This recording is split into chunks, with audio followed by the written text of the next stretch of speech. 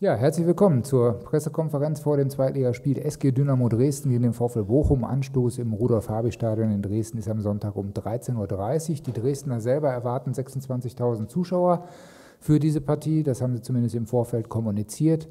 Aus Bochum werden mindestens 300 dabei sein. So viele Karten haben wir jedenfalls hier abgesetzt. Kurzinfo an der Stelle auch schon mal ein bisschen vorausschauend auf das Spiel gegen den HSV. Da ist ja der Vorverkauf gestartet. Bis dato läuft es online sehr gut. Es ist allerdings jetzt schon absehbar, dass das, was wir in der Pressemitteilung angekündigt haben, dass ab dem 4.3. auch sozusagen offline der Verkauf für die VfL-Mitglieder und Dauerkarteninhaber startet, Fakt sein wird. Das heißt also Montag im Zeitfenster zwischen 10 und 13 Uhr hier am Fanshop am Stadion, weil danach die Geschäftsstelle geschlossen ist. Im Ruhrpark bis 20 Uhr am Montag und bei Bochum Marketing. Ab da geht es dann für die VfL-Mitglieder und Dauerkartenkunden auch im analogen Bereich sozusagen los. Das war es von meiner Seite aus. Cheftrainer Robin Lutz sitzt neben mir, wartet eure Fragen. Günter Pohl hat schon aufgezeigt, schnappt sich das Mikrofon und los geht's. Herr Dutt, geben Sie uns vielleicht mal einen kurzen Überblick über die Personalsituation, wie sie sich jetzt vor der Abfahrt gestaltet. Wer, wer steht nicht zur Verfügung? Wer ist vielleicht überraschend wieder dabei? Ja, von der Quantität sieht es ganz äh, gut aus, haben eine relativ äh, große Auswahl. Ähm, die Langzeitverletzten mit äh, Tom Bark, Barisch, äh, Maxim Leitsch äh, sind noch nicht dabei. Bei Tom Eisfeld ist es noch ein bisschen zu früh. Milos steht grundsätzlich wieder zur Verfügung und äh, der Rest der Mannschaft auch.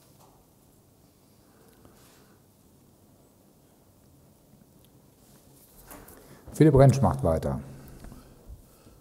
Ich da mal kurz ein. Milos Pantovic steht grundsätzlich zur Verfügung, heißt, fährt er mit, fährt er nicht mit? Ja, wir wollen den Kader jetzt heute öffentlich noch nicht äh, bekannt geben, wollen es noch äh, die paar Stunden bis morgen noch, äh, ja, das für uns noch äh, behalten. Von daher muss man sich noch etwas äh, gedulden, wer dann morgen tatsächlich mitfährt.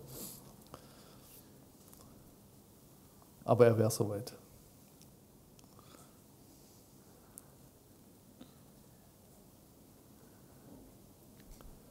Günter Pohl macht dann weiter. Wir haben ja in der Winterpause der VfL ja nochmal sich verstärkt mit Simon Zoller. Der hat, äh, so wie ich es damals gelesen habe, braucht er viel Spielpraxis. Jetzt hat er die zuletzt doch nicht mehr bekommen. Ist das jetzt wieder eine Option oder welche Rolle spielt Simon Zoller im Hinblick auf das schwere Programm, was jetzt noch auf den VfL zukommt? Ja, Simon spielt grundsätzlich bei uns eine sehr wichtige Rolle. Natürlich war es jetzt für die beiden Neuzugänge äh, vielleicht jetzt im Winter etwas schwieriger, sich äh, zu integrieren, wenn es äh, jetzt so läuft, wie es momentan läuft, als im Sommer. Aber Simon hat ähm, jetzt trotzdem drei Torbeteilungen gehabt, zwei selber gemacht. Wenn er eingewechselt wurde, hat er, finde ich, immer sofort Akzente gesetzt und wir sind mit mit seinem Auftreten bei uns jetzt mal bisher alles andere als äh, unzufrieden, aber es, äh, in aller vorderster Sicht steht natürlich immer auch die Mannschaftsleistung und von daher ist es momentan für jeden Einzelnen etwas schwieriger ähm, zu glänzen oder auch die Performance äh, zu bringen, die dann auch äh, die allgemeine Anerkennung äh, bringt. Aber wir sind sehr, sehr froh, dass wir Simon haben und er spielt auf jeden Fall eine sehr wichtige Rolle in unseren Planungen.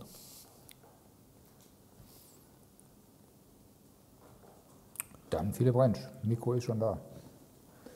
Welche Ideen, welche Maßnahmen haben Sie vielleicht auch in dieser Woche noch mehr ergriffen, um die Mannschaft jetzt auf das Spiel gegen Dresden vorzubereiten? Sie hatten ja auch schon Ideen nach den anderen Niederlagen, vor den anderen Partien.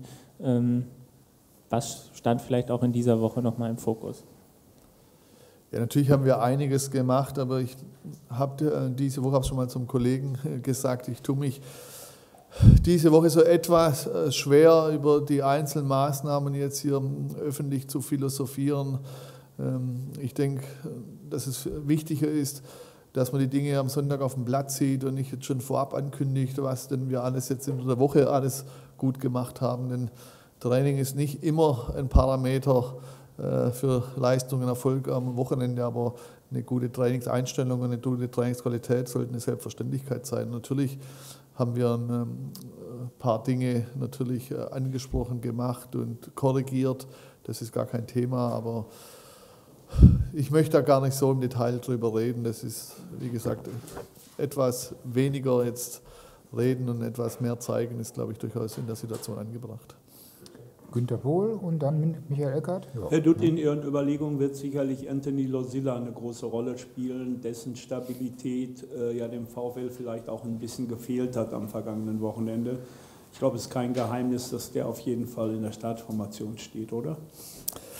Ja, also Toto ist natürlich eine absolute Säule in unserem Spiel und äh, immer wenn er äh, fehlt, dann fehlt es auch ein äh, Stück weit diese Säule, diese Struktur in diesem Spiel und äh, natürlich Toto kennt sich natürlich auch in Dresden perfekt aus aufgrund seiner Vergangenheit. Und äh, natürlich sind wir da absolut froh, ihn zu haben. Und auch wenn ich keine Anfangsformationen durchgebe, aber da wird jeder spekulieren können, ob er spielt oder nicht. Und die meisten werden nicht falsch liegen bei ihrer Spekulation. Michael Eckert. Ja, jetzt wirkte die Mannschaft ja sehr verunsichert und was ja verständlich ist, nach der vierten Niederlage auch dann äh, trifft auf einen Gegner, der gerade nochmal einen Trainer gewechselt hat. Der Trainer ist jetzt kein Unbekannter, äh, wird von allen geschätzt und gemocht in Dresden. Da muss man sich schon wappnen ja, äh, und auf, äh, auch ein bisschen auf Biegen und Brechen einstellen, oder? Auf jeden Fall. Mein Trainerwechsel äh, setzt natürlich immer kurzfristig zumindest Energien äh, frei und alles, was man jetzt medial verfolgen kann, äh, herrscht ja, ohne dass noch schon eine Sekunde gespielt ist, eine große Aufbruchstimmung. Äh, Christian Fell hat eine sehr hohe Akzeptanz, glaube ich, in diesem Verein. Wir haben übrigens ähm, einen gemeinsamen Verein schon hinter uns, allerdings er als Spieler bei den Stuttgarter Kickers, ich als Trainer, aber nicht als sein Trainer. Aber zumindest äh, war es gar nicht zeitlich nicht so weit entfernt. Ich denke, maximal ein, zwei Jahre war das auseinander. Ähm, aber ja, er hat ja diese Interimsrolle, hat er zumindest ja schon mal Anfang der Saison nach Uwe Neuhaus übernommen. Und ja, er ist ein junger, hochmotivierter Trainer und wird diese Motivation auf die Mannschaft übertragen. Und selbstverständlich werden wir da in Dresden äh, voll dagegenhalten müssen. Ne?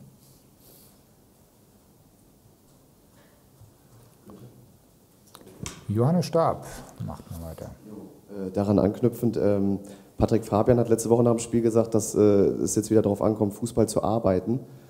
Ist das jetzt erstmal das Wichtige? Weil ich glaube, fußballerisch kann man jetzt nicht eine Glanzleistung erwarten, jetzt nach den letzten Wochen. Ja, zumindest äh, die Reihenfolge sollte die richtige sein. Und ich denke, äh, dass wir immer dafür im kompletten Jahr 2018 nicht nur dafür gestanden sind, dass wir einen guten Ball spielen, äh, auch äh, technisch anspruchsvoll und offensiv gut, sondern die Mannschaft ist eben auch immer dafür gestanden, sich das erstmal zu erarbeiten, äh, gegen den Ball gut gearbeitet hat, in den Zweikämpfen präsent war, im Gegenpressing gut war. Und diese Balance ist natürlich ein Stück weit in den letzten Spielen einfach verloren gegangen. Deswegen sind die Ergebnisse auch so ausgegangen. Und ich bin mir sicher, wenn wir es hinkriegen, die Reihenfolge wieder hinzukriegen, zunächst die Arbeit und dann bin ich sicher, dann tun wir es auch einfacher wieder zu diesem Offensivspiel zurückzufinden, Schritt, äh, Schritt um Schritt, äh, das uns doch so lange ausgezeichnet hat.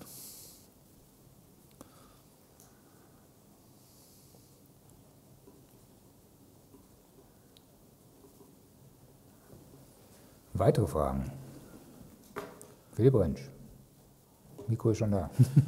Jetzt äh, sah der VfL dreimal in Folge, vor allem in der ersten Halbzeit, äh, weniger gut aus. Zufall, nicht Zufall aus Ihrer Sicht, in Ihrer Analyse? Ähm. Man soll das nicht äh, ganz ausblenden. Es ist immer die Frage, wir hatten ja die Phase schon der Saison, als wir in den letzten Minuten dann immer die Treffer bekommen haben und äh, so wie das kam, so schnell war es wieder weg. Äh, von daher wäre es schön im umgekehrten Fall, jetzt kriegt man die Treffer gerade des Öfteren in der Anfangsphase und es wäre schön, dass es auch so schnell wieder verschwindet, wie es gekommen ist. Zufall oder nicht Zufall, es darf so nicht passieren. Das ich glaube, damals hatte ich das schon gesagt. Äh, man sollte in der letzten Minute genauso wenig die Tore unnötig kassieren wie in der Anfangsminuten. Und das ist der Zeitpunkt nicht entscheidend, sondern die Art und Weise, wie wir einfach diese Gegentreffer bekommen haben. Zum Beispiel ähm, zwei Gegentreffer relativ identisch nach einem Einwurf irgendwo im Mittellinienbereich und einem Umschalten des Gegners. So, äh, die Situation hat für mich jetzt weniger zu tun, sind wir in der zweiten oder 90. Minute. Die Situation darf halt grundsätzlich nicht äh, passieren. Und deswegen thematisieren wir, wenn, natürlich dann eher die Situation an sich als äh, die Spielminute. Aber sicherlich ist es in der momentanen Situation nicht gerade hilfreich, wenn du auch noch in Rückstand gerätst und hinterherlaufen musst. Ja.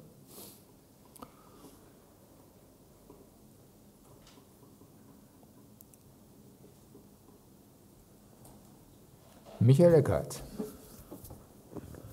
Haben Sie persönlich schon irgendwelche äh, Erfahrungen gemacht mit Dynamo Dresden? Keine guten. kann, kann sogar, man das konkret fassen? Ja, ja, sogar äh, sehr schlechte. So, jetzt haben Sie mich gefragt, jetzt habe ich es morgen in der Zeitung, aber hilft ja nichts, Sie kriegen es ja eh raus. Äh, mein erstes Pflichtspiel in Bayer Leverkusen haben wir im DFB-Pokal in Dresden absolviert. Und äh, wenn ich heute noch dran denke, äh, ja, wird es mir ganz anders. 3 zu 0 geführt in der 60. Minute und das Ding ging in der Verlängerung 4 zu 3 für äh, Dresden aus. Ich glaube, es sind nicht mehr so viele Spieler vertreten von damals, ähm, aber von daher ja, gibt es nicht gar die besten Erinnerungen daran.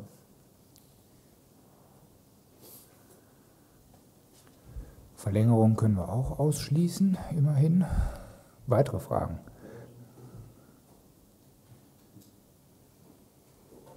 Scheint nicht der Fall zu sein. Dann bedanke ich mich fürs Erscheinen. Den einen oder anderen sehen wir dann am Sonntag in Dresden.